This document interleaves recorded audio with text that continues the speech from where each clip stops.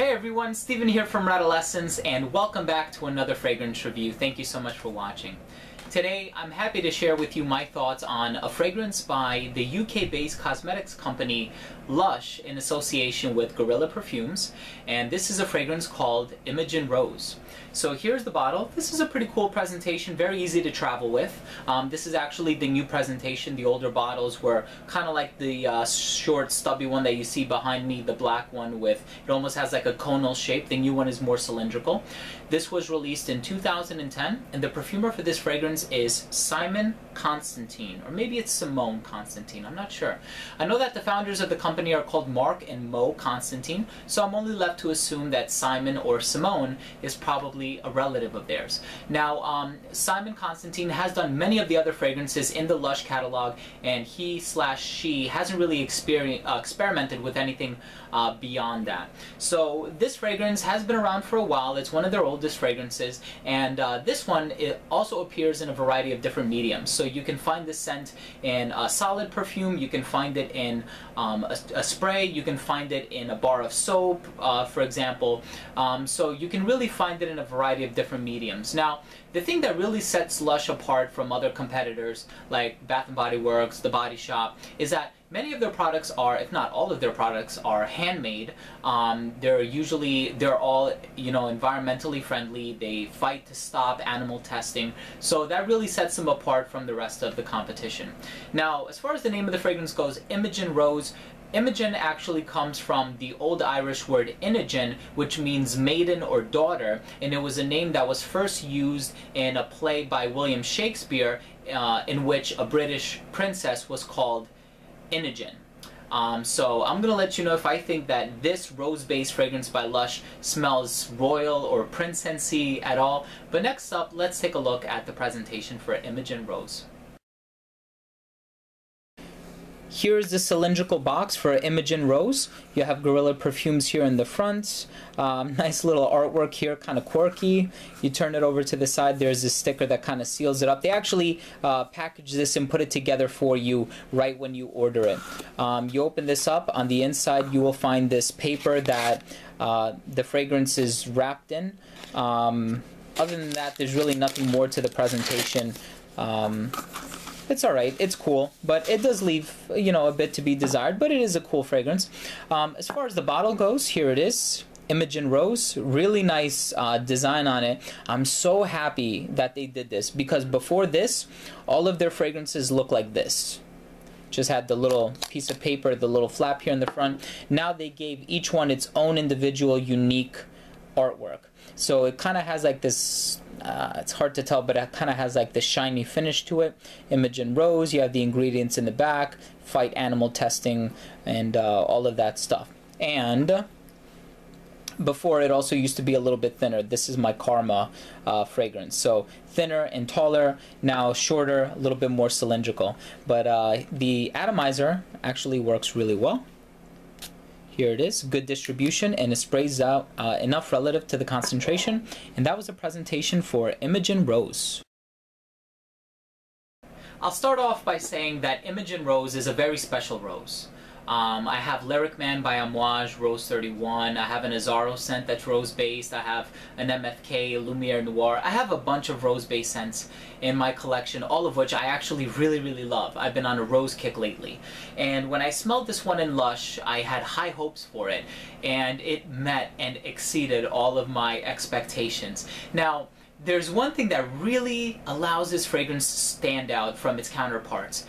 And that is you know, usually when you smell a rose scent, it has a very soft, billowy, gentle nature to it. It's almost evocative of rose petals, uh, very evenly spread out on fresh, clean linens, you know, bed sheet or something like that.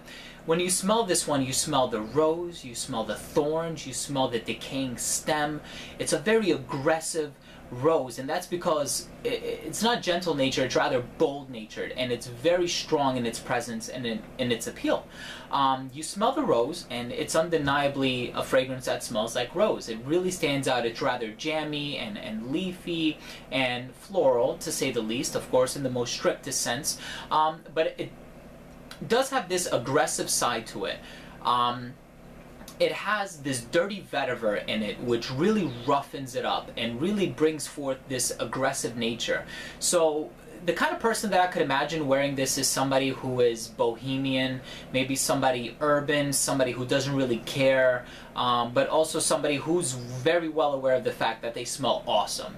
Um, just somebody who's very confident in themselves, but not necessarily a socialite or a social butterfly, somebody who's always trying to make themselves the life of the party, but rather somebody who's more reserved, more mysterious, but they have a gentle nature to them too. The reason I say that is because this fragrance also contains iris root or iris, and uh, it does kind of have this clean feel to it. The best thing that I can compare it to is ivory soap. So if you can imagine a very jammy, sweet rose sweetened by tonka bean and ambrette seed, and then all of a sudden it has like this clean backbone to it. So it's kind of paradoxical in that sense, but it's a beautiful rose. I mean, and it really stands out. That's why I'm really happy to have this rose in my collection because it's so different from all of the other roses. I mean, you have Lyric Man, which is a very bright citrusy effervescent rose with the lime and the incense in the background kind of adds this relaxing aura to it. Then you have something like Lumiere Noir, which is very spicy to Rose 31, which is kind of powdery, but it has a culinary overtone. This one is just a very raw, aggressive rose, knows what it's capable of doing, isn't afraid to show its face. So for that reason, I'm very happy to have it in my collection, but at the same time, I have to be aware and cognizant of the fact that there might be a lot of people who will not appreciate this fragrance for that very fact that it is too aggressive, it stands out, um, it doesn't know its place, it you know it wants to impose and intrude, and the performance is really good on this one too, so it will make a statement. So thank you for watching. Last up, we have the rating. First up we have uniqueness and overall smell, and I'm going to go ahead and give this fragrance an 8 out of 10. For somebody who's only ever worked on fragrances for the UK-based uh, company Lush, this is an excellent scent. I mean, I love Dirty, I love Breath of God, I love Karma, um, the fragrance Karma. And now I love this scent. Uh, also, uh, Sikkim Girl. So they have so many really, really good fragrances for this company. It's one that need uh, shouldn't be overlooked. So please make sure you give this one a try.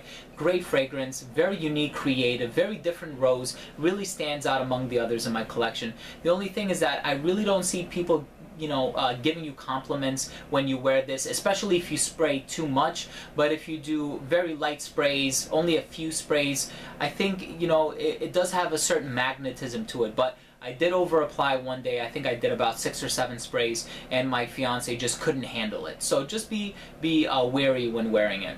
Next up, we have longevity. I'm going to give it an 8 out of 10. Um, this does last a good six to eight hours, and I have gotten upwards of eight hours on my skin. The only thing is that the rose does become very tame. It's still there, it lingers, but it does become very tame. So just be cautious of that. Um, if you think you're going to get that same jammy, strong, aggressive rose for the entire duration of the fragrance, um, you won't, unfortunately. Next up, we have projection. I give this one a 7 out of 10. Projection is actually very good. Um, my only qualm with this one is I feel like it projects the most in the first hour and a half. Like, it will be, I mean, highly noticeable in the first uh, hour and a half.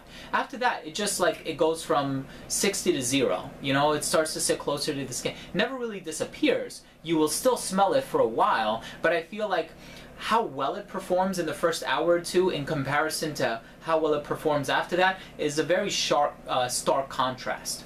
Um, next up we have versatility. I ended up giving this a 6 out of 10.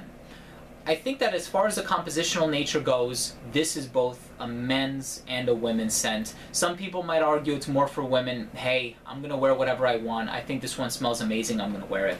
Um, I think this would work best in the hotter months. Just apply lightly. The compositional nature just evokes hotter weather wear.